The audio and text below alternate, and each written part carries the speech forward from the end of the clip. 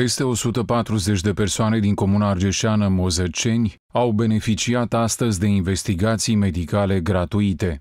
Acțiunea a fost organizată de voluntarii de la Paraclisul Catedralei Naționale în cadrul campaniei Sănătate pentru sate. Consultațiile au fost oferite de medici voluntari, specialiști în cardiologie, ginecologie, gastroenterologie, dermatologie, oncologie, oftalmologie, urologie, psihiatrie, psihologie și medicină internă. Au fost efectuate totodată investigații EKG și ecografii. Ne aflăm aici pentru a treia oară cu această campanie, campania Sănătate pentru sate, o activitate foarte utilă pentru comunitatea de aici, deoarece am uh, descoperit multe probleme de sănătate, multe probleme grave, probleme de sănătate care au fost uh, preluate de către medicii specialiști și rezolvate la spitalele din uh, București. Această campanie reușește să salveze vieți, să salveze vieți aici unde medicii specialiști ajung foarte greu, dacă nu chiar deloc, deoarece această comunitate se află la o distanță de aproximativ 60 de kilometri de Pitești,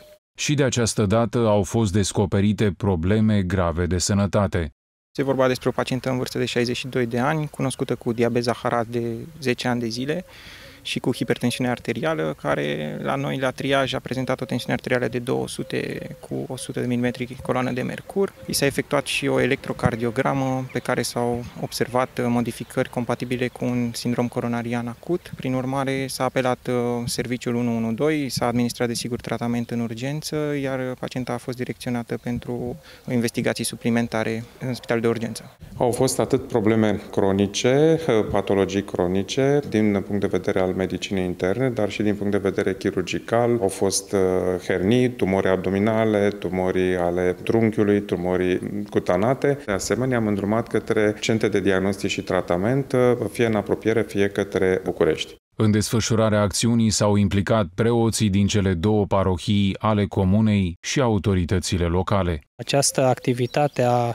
voluntarilor Patriarhiei Române este foarte importantă pentru sănătatea lor trupească, pentru că sunt departe de orașe și spitale. Această campanie pe care voluntarii o fac este binevenită și au primit-o cu bucurie mare atunci când eu le-am spus că o să vină din nou uh, voluntarii Paraclisului, Patriarhiei Române, pentru a-și face fiecare cât un control, înscriindu-se foarte mult fiind uh, peste aproape suta de pacienți. Suntem uh, onorați că astăzi avem din nou în mijlocul nostru campania Sănătatea la sate, o campanie de care cetățenii Comunei Mozăceni s-au bucurat de-a lungul timpului. Au solicitat din nou revenirea acestor oameni minunați cu o scânteie dumnezească în suflet în mijlocul nostru pentru a le mai alina suferințele și de asemenea pentru a-i ajuta să depășească anumite momente dificile din viață.